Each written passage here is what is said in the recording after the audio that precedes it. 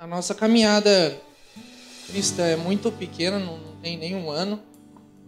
Tudo começou há mais ou menos seis anos atrás, quando eu conheci ela em 2010. Eu era da Igreja Católica. E até então, Jesus não é aquilo que a gente imagina ser. A gente é. E de um tempo para cá, com os conhecimentos que eu tinha na Igreja Católica, de momento ela não estava indo em nenhuma igreja, a gente começou a ter convivência e ela começou a frequentar comigo a Igreja Católica, onde eu fui batizado, crismado, fiz catequese e ela sentiu a necessidade também de, de ser crismada, né? Pelo fato futuro do casamento e ter que ter crisma, etc. e coisas mais. Gente, graça e paz. É, só para ele não ficar muito nervoso, vou falar um pouquinho, né, amor? Mas é. Quando eu, conhe... quando eu conheci o Jonathan, ele era coroinha da igreja católica. Gente, usava aquela túnica enorme, balançava aquele negócio assim. e realmente sentia que faltava alguma coisa na gente.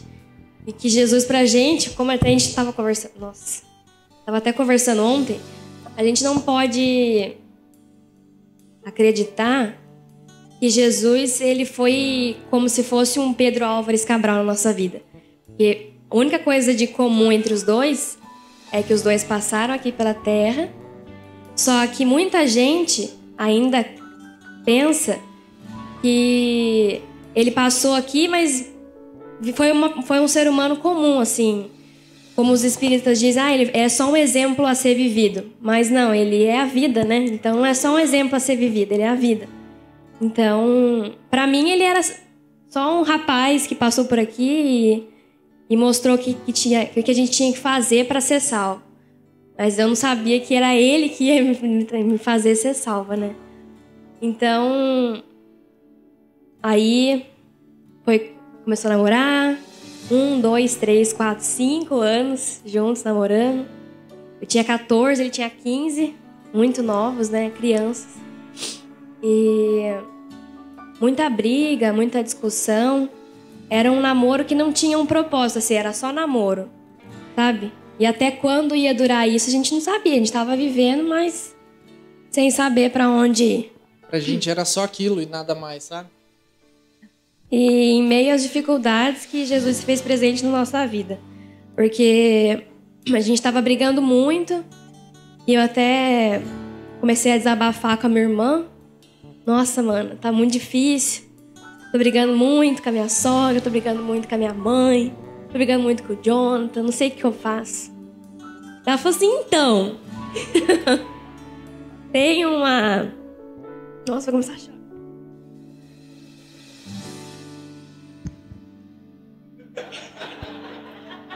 Passou a bucha.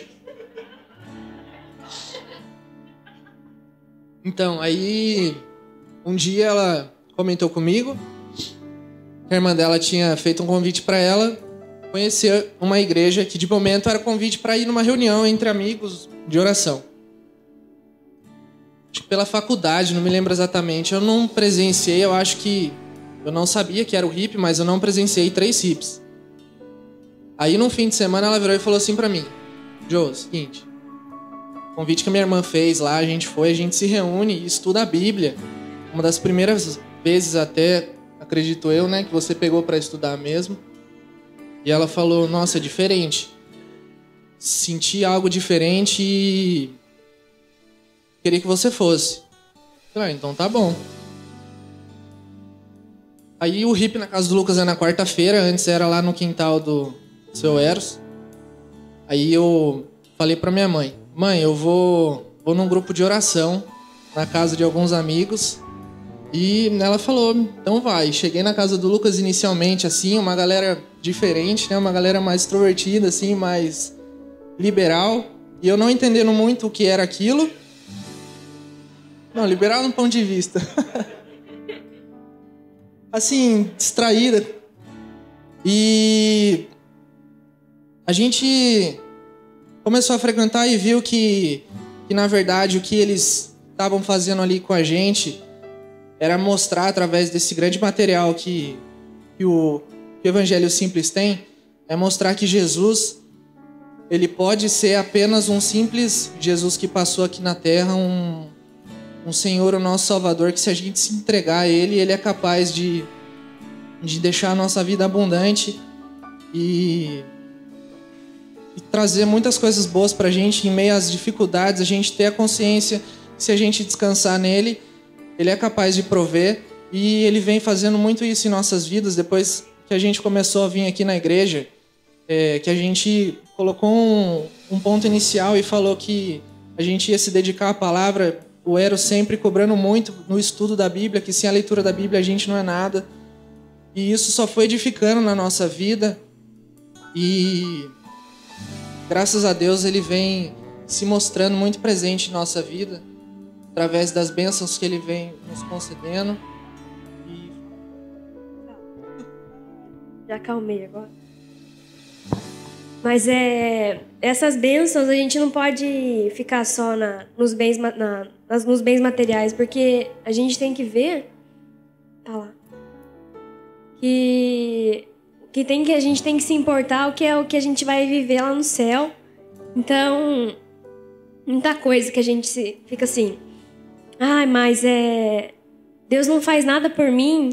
Eu faço tanta coisa por ele, mas o que a gente não percebe que as bênçãos que a gente está recebendo é do nosso espírito, é na nossa alma e por isso que muita gente cai, porque quando a gente vem para Jesus não é para a gente ganhar carro novo, não é para a gente ganhar, a gente para a gente ganhar uma vaguinha lá no céu.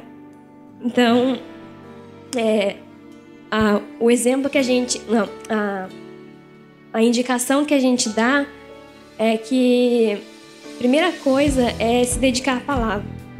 Porque nesse pequeno livro tem, tem o manual da vida. Se a gente seguir aquilo ali todo dia, eu acho que é impossível a gente não viver, ter comunhão com Deus. Eu acho que um texto que simplifica, resume muito o que a gente conversou aqui hoje é em Romanos 10, 9. Se você disser com sua boca, Jesus é o Senhor, e seu coração crer que Deus ressuscitou Jesus, você será salvo. Acho que em 12 isso vale para todos, pois não existe nenhuma diferença entre judeus e não judeus. Deus é o mesmo Senhor de todos e abençoa generosamente todos os que pedem a sua ajuda. Então eu acho que Deus está tá, tá posto para todo. Eu acho que basta a gente se render ao pé da cruz, se esvaziar da gente, aos poucos começar a tratar o nosso coração para tirar as nossas vontades e trabalhar em nós, aceitar mais as vontades dele, que ele vai nos proporcionar uma vida abundante, independente da, do que seja. Porque o importante nosso não é aqui, o importante nosso é a vida eterna e a gente tem que garantir isso agora, porque senão.